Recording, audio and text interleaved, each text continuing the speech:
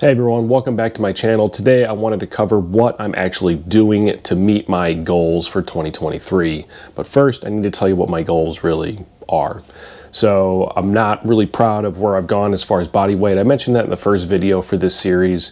Uh, since 2020, basically my body weight has just steadily gone up because there was no competitions that were really going on. And even when I started competing in 2021, um, I was just signing up for shows as a 220 or signing up for shows in late 2021 as a, I'm sorry, in 2022 as a 198, uh, and then just going up to the next weight class when I didn't meet weight. So I want to get back down to competing at the 198s. And for me, I really, I just don't enjoy cutting. I'm not very good at it. Uh, usually I can only afford to swing eight pounds or so. So what I'm gonna do is I'm setting a body weight goal of 200 pounds even.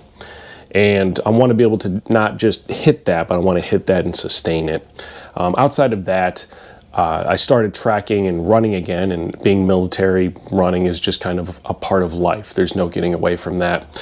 And my watch basically estimates my VO2 max based on mile and a half run time.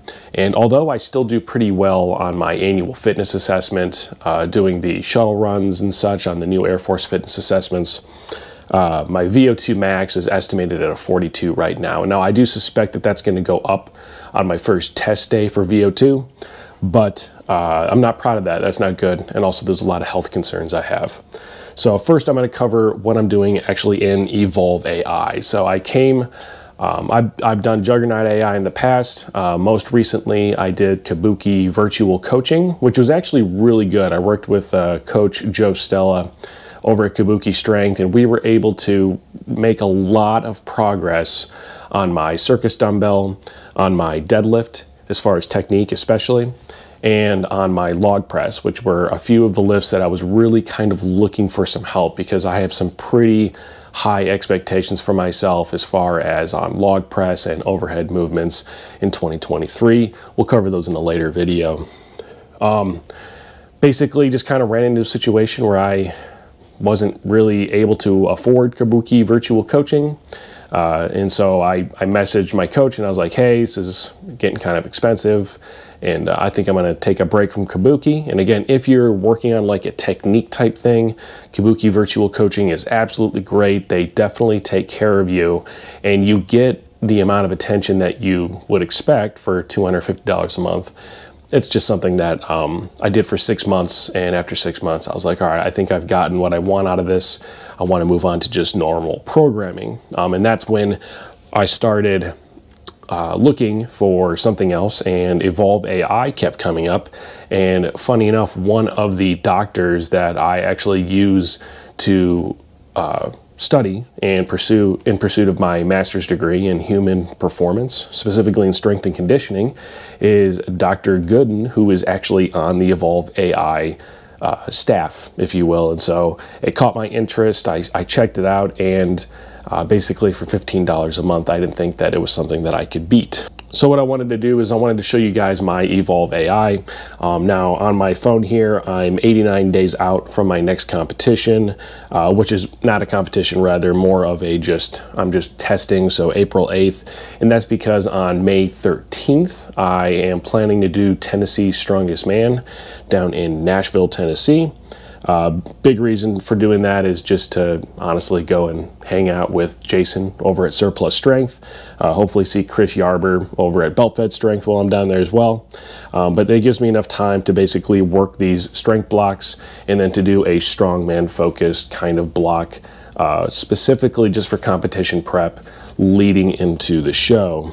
Um, I'm on a hypertrophy phase right now. I'm actually on a deload week right now. And I just wanted to give you guys an idea of what that looks like. Now, there are some things that I have added, and I'm trying to find a day where it has it.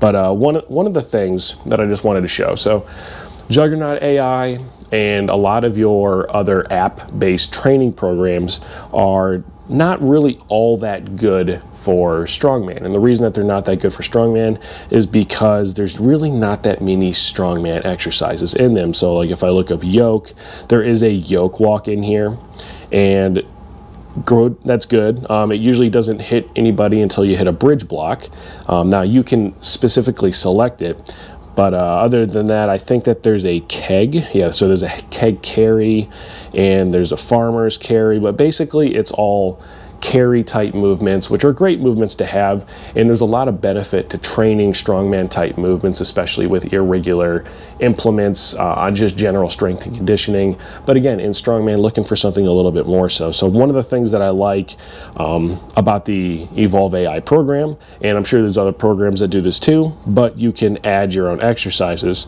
So for instance, if I wanted to add log clean and press, or let's just add log push press out of the rack and spell correctly.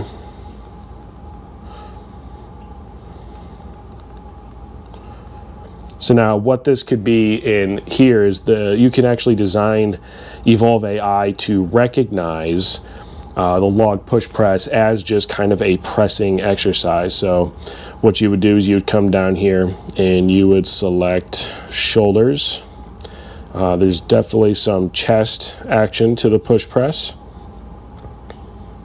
Triceps for sure.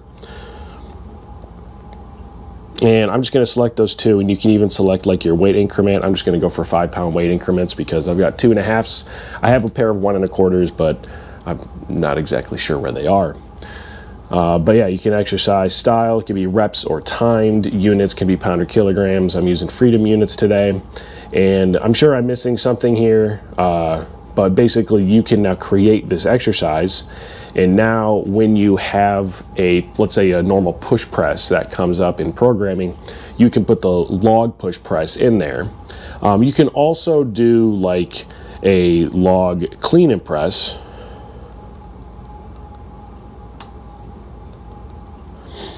and uh, basically do the exact same type of thing, uh, but just remember to include that uh, basically it can be used for uh, the clean portion as well. So like try to think of what's going to be affected with the clean portion. So the, the lats for sure.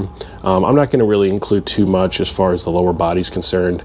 Uh, one of the ideas I've had is actually to go and look up the push press and see if it's possible to like see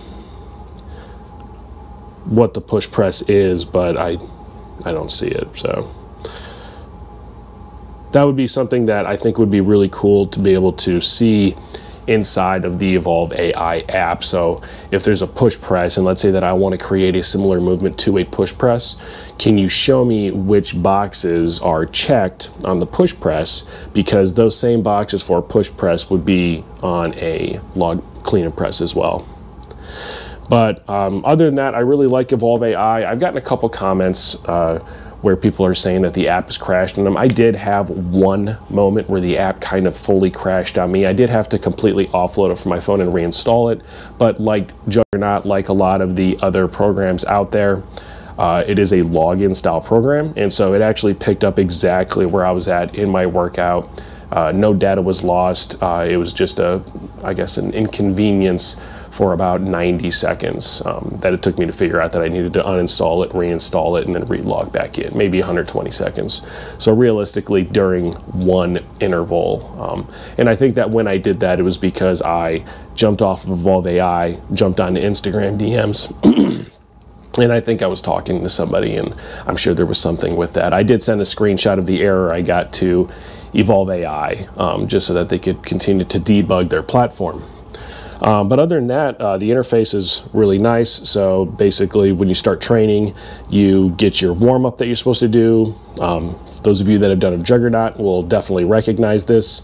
Uh, you can do your current body weight. I don't actually weigh myself every day, I just weigh myself periodically. So right now, it's like once a week, Monday mornings or something like that. uh, I'm sure I'll start to weigh myself more as I start to see those numbers fall off the scale, which I'm already seeing them fall off the scale. Um, you can rate your sleep, um, all that stuff, and basically that adds to your readiness rating. Now, one of the cool parts about AI based training is that you then get that readiness score. And that readiness score is really cool because it will modify your program depending on what you're trying to do. Now, I'm not an Evolve AI affiliate, I don't get paid for any of that stuff, uh, but one of the things I think is really cool about it is that they have a very smart staff. Not to say anything negative about any of the other programs, like I said, I ran Juggernaut. I love Juggernaut. I think it's a great program. Uh, Evolve AI is basically the same program, not the same program, but the same interface, and uh, it's just half the price at $15. I think that's just probably a beta thing, uh, but either way, uh, definitely huge cost savings. Now, as for my running stuff, all right, so with my VO2, being 42 and I want to start to improve my VO2, what I've been doing is I've just been using uh, Garmin and Garmin Connect. Now, if we go to my activities and we look here, basically what we can see is it'll give me a seven day look whenever I bring up my phone. And you can see like right now, for instance, I've run 11.6 miles in the past seven days. For those of you that run, that's really not that far. And what I'm doing when I run, and I'll show you guys uh, yesterday morning's run, is basically really slow. Uh, zone two, Garmin has five heart rate zones. So my runs tend to be zone two to three as far as training goes. Um, but basically shooting for like that 145 average heart rate, we can see that I hit 144 yesterday. But if we look at the graph, uh, you can also see that for most of the exercise, which is the block portion of that, I suppose I should hold it this way so you can actually see we can see uh, my average heart rate was 144 my maximum was 164 and i'll be honest yesterday i i did have to kind of cross streets a lot. It was just a busy traffic day. I like to road run. I'm not a big treadmill runner um, just because i think that there's something to getting out running around. Not that you're seeing other people, but I know I've read stuff in the past about like ocular stuff helping with mental health. Um, I've definitely suffered some from from some mental health stuff in the past, and so anything I can do, I try to do. But that block right there at heart rate, that is the actual workout that it gave me. And basically, what I did is I ran, and then after I finished my run, I just did a walk um, to make sure that I get nice and cooled down, and I don't end my walk until I'm actually in zone one. But I have a heart rate monitor that pairs with my Tactix 7 watch and these are really nice wearables and you don't need to have wearables in order to do zone 2 running. Um, what I will tell you is that I have wearables and I use them uh, but I also do what's called the the talk test while I'm doing my run. So I'll be out running and periodically if I start to feel like maybe I'm getting a little bit too high as far as heart rate or my heart rate monitor is actually telling me that I'm too high as far as heart rate I'll do a little talk test real quick and just I don't know, like say the Pledge of Allegiance, or usually it's um, whatever the lyrics to the music that I'm currently listening to. I'll just kind of say those lyrics. And if I can make it through like one to two lines without having to take a breath, I know that I'm still probably in zone two. Again, there's a lot of those physiological barriers that you have to break in order to really get into zone three. And part of that's going to be increased oxygen need, which is going to cause you to have to take more breaths. Um, but it also gives me a whole bunch. So like it gives me my average cadence. Um, that's this really does start to get more important if you take running more seriously. Uh, but one of the things that I've actually really worked on improving was my ground contact time. Uh, I've had some injuries in the past. I've had some very very bad back injuries. Uh, everybody, I feel like, has had really bad back injuries, but um, the Air Force has tried to do surgery on my lower back before, and I've actually been able to put that off through strength training. But I used to have a really bad con ground contact time. It was like 55 uh, left, 45 right. And I've really worked hard to try to basically even that out. And you can see here that that's actually paid off because yesterday I was pretty much 50 50. Um, but it gives you some stuff to hit. So basically, the way this works is my, my watch also tends to kind of go easy on me. So today, my recommended workout is to rest. Um, I'm not going to do that. Um, I'm trying to hit zone two to three. I'm trying to hit about 180 minutes of zone two, three work uh, per week. And so what that means is, you know, 30 to 40 minutes uh, a day uh, for four to five times a week. Um, and if, if, you do the math real quick, you'll actually see that, well, that does it actually equal 180. Yes, 180 is the goal to be able to hit. And it would be like 180 minutes of zone two to three once my conditioning is better, followed by maybe a day where it's a slightly higher intensity, uh, really working on improving either speed or some other thing. But that is it. So again, using Evolve AI, which has been great so far, using Garmin um, in the pre-populated workouts, using my heart rate monitor, my wearables, but also doing all of my uh, physiological tests, so like that talk test that I talked about briefly. A lot of this stuff is me just kind of experimenting on myself. Um, I learn a lot of this stuff through my master's program. I, I listen to a lot of podcasts. I do a lot of research. Um, I'm really a big nerd like that and uh, oftentimes I don't have other people to do these things to, and so uh, to be a, a strong man that also has running goals, I feel is pretty unique. So looking to really improve myself in 2023, get the VO2 max up, get the body weight down, get that strength up, and still chasing that 300 pound overhead. I don't care what implement I do it on but that's the that's the big lifetime goal is a 300 pound overhead on either the log the axle barbell. I don't particularly care just something. But that's been it for this video. Again so that is how i'm training uh, what i'm doing. Uh, if you like this video, please hit the like button, leave a comment down below. Let's have a conversation about what you think about my program. Other than that, I appreciate each and every single one of you that watch, and remember to keep your training better, awesome, and of course, badass. I'll see you next time.